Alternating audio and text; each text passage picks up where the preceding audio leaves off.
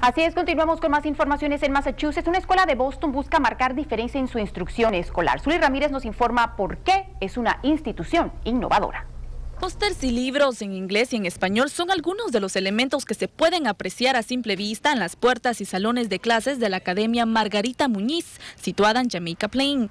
Y es que esta se ha convertido en la primera escuela superior innovadora bilingüe del estado. Todos los cursos se van a dar en dos idiomas, dependiendo de la unidad de estudio. O sea que por las primeras tres semanas lo estamos haciendo en inglés, vamos a hacer una unidad de matemática tal, entonces terminamos e-, esa unidad y la próxima unidad, que va a ser un tema diferente, se va a dar en español.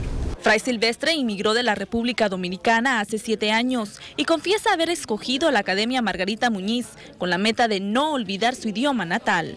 Como fue mi primer lenguaje, yo no quiero como olvidarlo y después que yo vaya a mi país quiera hablar con gente, no sepa decir bien, pronunciar cosas bien.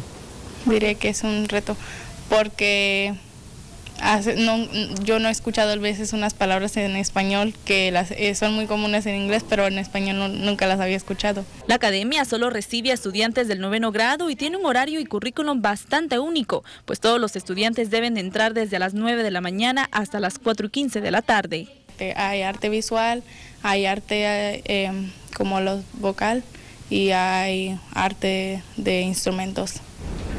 ¿Y cuál es tu favorita? el visual. ¿Por qué? Porque me inspiro y puedo sacar todo lo, lo el estrés de la escuela.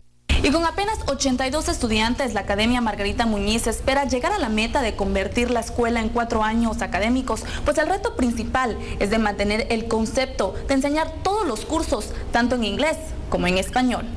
Eso requiere que los profesores, uno, estén muy cómodos hablando y enseñando un curso académico en dos idiomas y que tengan muchas estrategias, porque a la vez que están enseñando el contenido, están enseñando el idioma. Para Noticias Univisión Nueva Inglaterra les informó Zuli Ramírez.